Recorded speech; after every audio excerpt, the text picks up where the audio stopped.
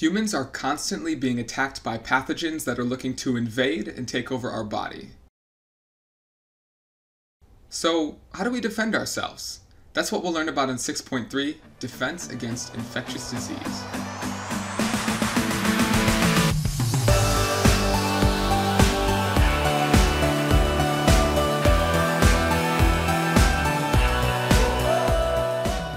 Are many types of pathogens that are constantly trying to enter and infect our body.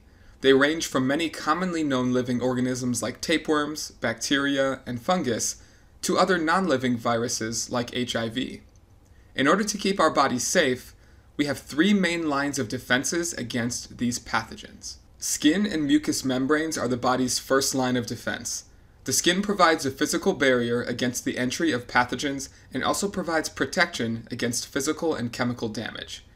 It does this by secreting chemicals that lower external pH, making it hard for bacteria and fungus to grow.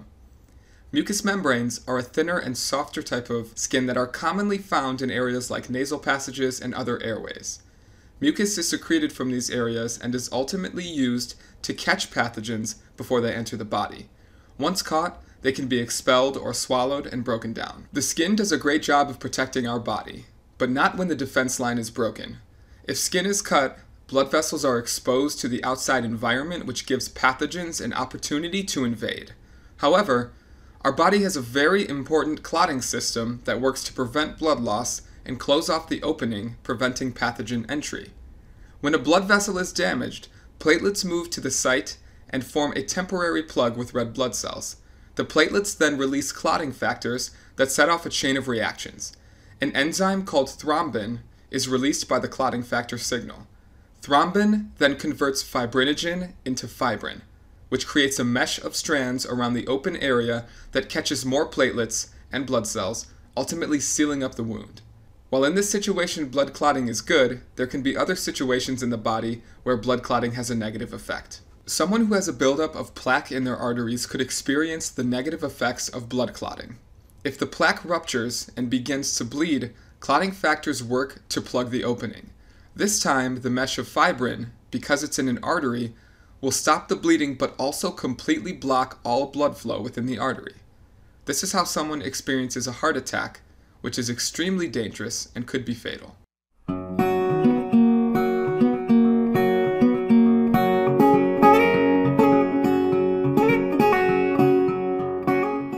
The innate immune system is our body's second line of defense. This type of defense gives us a non-specific and non-adaptive type of response, meaning that it works the same way every time and consumes anything it comes across. The majority of this work is done by cells called phagocytes. These cells engulf and ingest foreign pathogens, aka eat them, to keep us protected.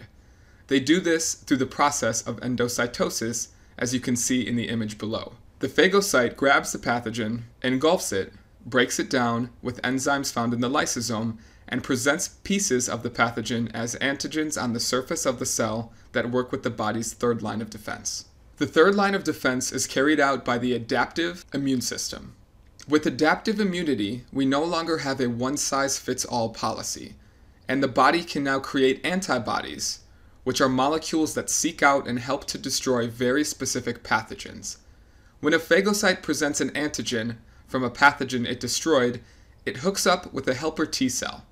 If the T cell reads the antigen as being foreign, it gets activated and releases chemical messages called cytokines that activate B cells.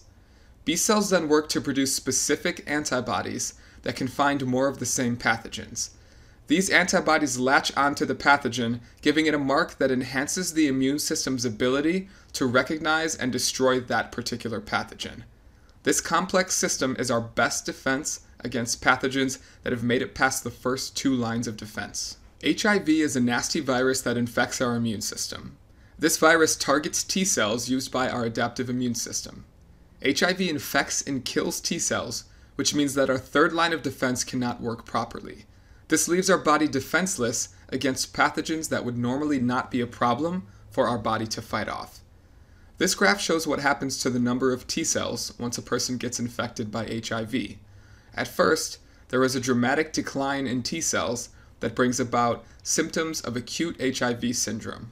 Then, the virus goes into a dormant state during this clinical latency phase, only to become active again later, which can ultimately lead to the death of the human host. HIV can be transmitted via unprotected sex, pregnancy and breastfeeding, sharing of needles, exposure to infection if you work in the medical field, or by blood or organ transfusions.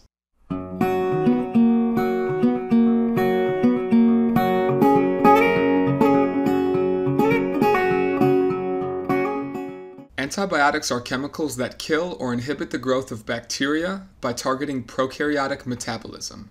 A common example of an antibiotic is penicillin. Penicillin was identified by Alexander Fleming in 1928 on accident. This chemical came from a mold called penicillium, and when placed next to other bacteria, he noticed that it inhibited their growth. Years later, two other scientists named Ernest Chain and Howard Florey infected mice with pathogenic bacteria to see if penicillin would destroy the pathogen and cure the host. With an experiment of only using eight mice, they were successful and started to immediately treat humans that had bacterial infections. The use of antibiotics, while it may be good, also comes with a price.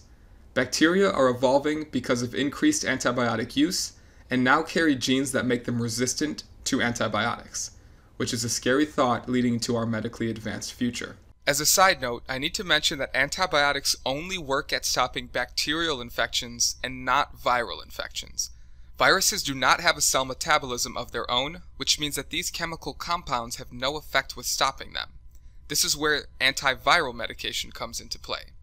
But these days, antibiotic use is so widespread that certain bacteria have built resistance to most, if not all, of the antibiotics that we have synthesized.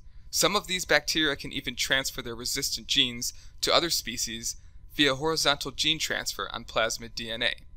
These multi-drug surviving species are called pan-resistant bacteria. This is a double-sided coin because using antibiotics can potentially cure us of infections, but also gives bacteria an opportunity to evolve and build resistance. We, as conscientious citizens, need to use antibiotics properly and only when necessary to preserve the high effectiveness of the drugs we create. If widespread misuse continues to be a norm, we will find ourselves in a situation where more and more bacteria evolve to build resistance, which could ultimately lead to dire consequences for our future.